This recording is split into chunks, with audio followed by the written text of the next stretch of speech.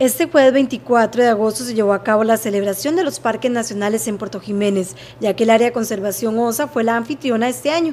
Este día se aprovechó para firmar un convenio entre el Ministerio de Ambiente y Energía, el Sistema de Áreas de Conservación y el Instituto Costarricense de Turismo, que permitirá la inversión de hasta un millón de dólares anuales en el desarrollo, fortalecimiento de infraestructura, equipamiento, servicios y capacidades turísticas en las áreas protegidas.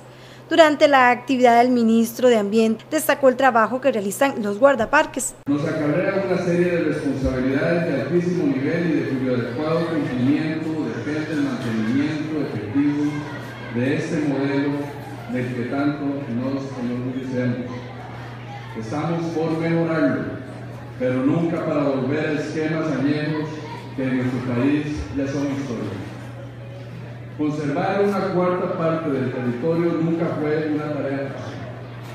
Traía consigo el cumplimiento de una serie de condiciones que oscilan desde lo estrictamente presupuestario hasta elementos de carácter cultural y educativo. El jerarca también dijo que la primera visita que hicieron en el país tras asumir la actual administración fue a esta zona. La primera visita al inicio de la administración Solís Rivera fue aquí en Puerto Jiménez con ocasión de la celebración del Día Mundial del Ambiente el 5 de junio, en donde también estuvieron presentes el señor presidente de la República, los ministros de Turismo y de Seguridad Pública. Hoy, cuatro años después, es la última vez que tengo el honor de compartir con ustedes como ministro de Ambiente en esta celebración tan importante. Aprovechó también para hablar sobre los proyectos hechos en el lugar. En lo que llamamos hoja de ruta de OSA, se unieron los esfuerzos de Limas, de INDER, de ACOSA, SINAC, MINAE, de la Caja Costarricense de Seguro Social, del Ministerio de Vivienda, para buscar alternativas para la problemática en la península de Osa.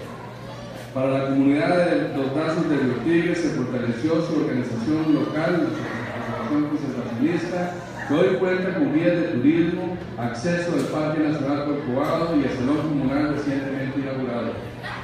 Las amenazas que enfrenta la conservación in situ del Parque Nacional Corcovado motivó el trabajo conjunto con el Ministerio de Seguridad con el Servicio Nacional de Guardacostas, Policía de Fronteras, Fuerza Pública, para que junto con los guardaparques promovieran la integridad de este parque. Sumado a ello el mejoramiento de las instalaciones por el sector de Sirenas. Esa oportunidad de mejoramiento de Sirena, La Liona y San Pedrillo nos permitió otorgar un permiso de uso a la Asociación de Desarrollo Integral de Karate que ha asumido los servicios de alojamiento, alimentación y tienda de naturaleza, permitiendo que nuestros funcionarios atiendan las labores esenciales que corresponden a sus competencias. La ADE Karate, a su vez, ha iniciado programas para la compra de bienes y servicios a productores y emprendedores locales y a incorporar a las personas que viven aledañas al parque en las labores de la conservación. De esta manera se celebró este jueves el Día de los Parques Nacionales.